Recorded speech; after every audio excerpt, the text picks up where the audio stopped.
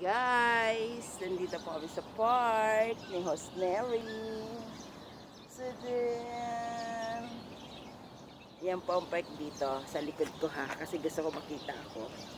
Hmm. Makita kami ni Host. Lakad-lakad kami dito kasi early ngayon, early morning. Tingnan nyo po yung buwan, ah, araw hindi pa ho lumalabas. Nauna na kami dito sa park. Ayan. Ayan si Hoss. Si Hoss. Nagsha-shout out na po siya sa inyo.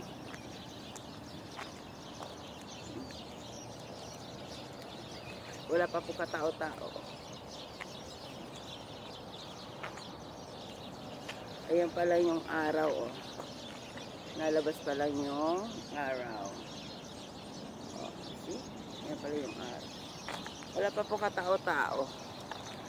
Partida, nag-LS pa si Hosneri. Tapos aga pa siya nagising para pupunta kami dito. Hi guys! Ayan. Ayan ang park.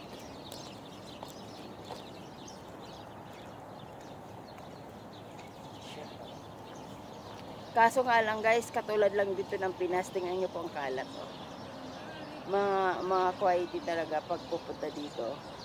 Wala na silang pakialam sa mga kalat nila. Makalat po.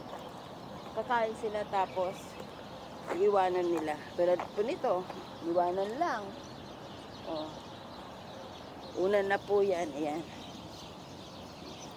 Oh, may naiwan pa nga. Ala, net! Net! May naiwan, oh.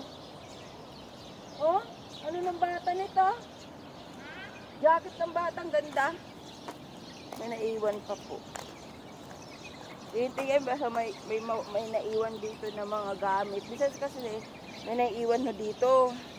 Tapos dinadala namin sa pinaka guide. Yan pong kalat nila, oh. Yan pong kalat, oh. oh. Yan.